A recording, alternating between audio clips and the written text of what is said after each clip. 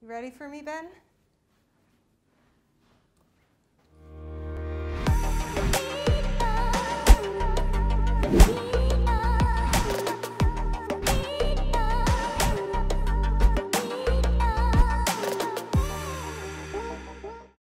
I'm Zaynab Harb with another real estate video.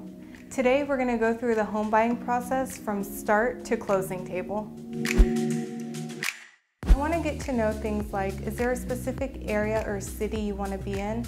Is there a specific school or school district you're interested in? Does the big backyard matter? Do you want to be near a job? All that plays a big role when we're looking at homes in the future. Getting you pre-approved is extremely important to happen early on in the process. Many people think they should start shopping for a home, find the perfect home, and then get in touch with the lender, but it's the opposite. The lender may need anywhere from a couple of days to a couple of weeks to collect documents and get us pre-approved.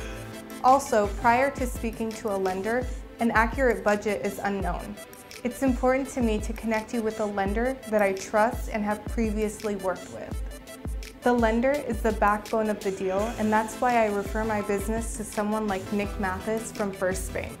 It's crucial that the lender and realtor have a good relationship because so much work happens behind the scenes.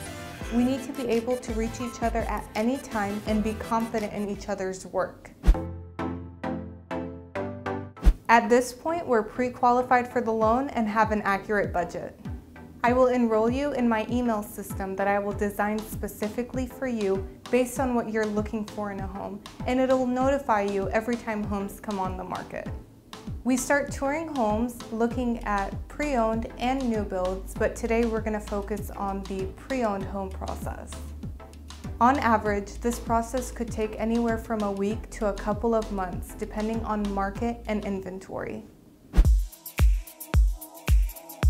The exciting part is when we find the one. I run comps to see what a fair offer would be, making sure my buyers are getting the best deal. I go over these numbers and other documents that my buyers should be expecting from me to electronically sign. I like to reach out to the listing agent to let them know that they should be expecting an offer from us in the next few hours. I submit our offer to the seller and we wait to either get accepted or a counteroffer. This is a term you'll hear a lot in real estate, but you may not know exactly what it means. At this point, both parties have agreed on terms, price, and crucial dates such as closing, finance period, and option period, and both parties have signed. We have two parties that have come to an agreement, signed the contract, and are now moving forward with the real estate deal. We are under contract. As soon as we go under contract, we have deadlines on a few crucial tasks.